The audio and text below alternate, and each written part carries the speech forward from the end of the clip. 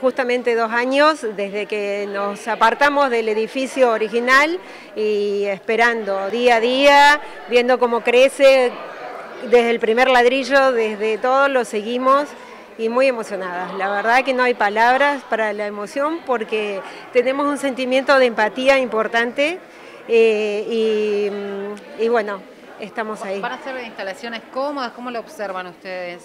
Espectacular. La verdad que es el primer jardín que está adaptado a maternal.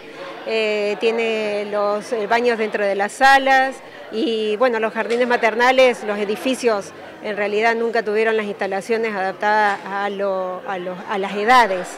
Y bueno, esto es todo con cambiadores, la verdad que eh, muy lindo. Viene el tema del equipamiento después. El equipamiento, eh, parte eh, fue porque, como ustedes ya saben, el, jardín, todas nuestras cosas se incendiaron en, la iglesia de Jesucristo de los Mormones.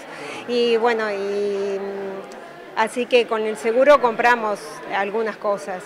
Nos hicimos de, de algunas pero falta todo el mobiliario para pequeños porque no hay proveedores aquí entre la eh, proveedores del municipio. Entonces se hizo difícil conseguir el mobiliario para, pero está tramitado con el Ministerio de Educación de la provincia. Suponemos que a fines de agosto nos entregarán el edificio, eh, viene todo lo que es acondicionarlo, mudanza, hacer las inscripciones, o sea que es mucho trabajo todavía que falta para que se pueda comenzar a trabajar.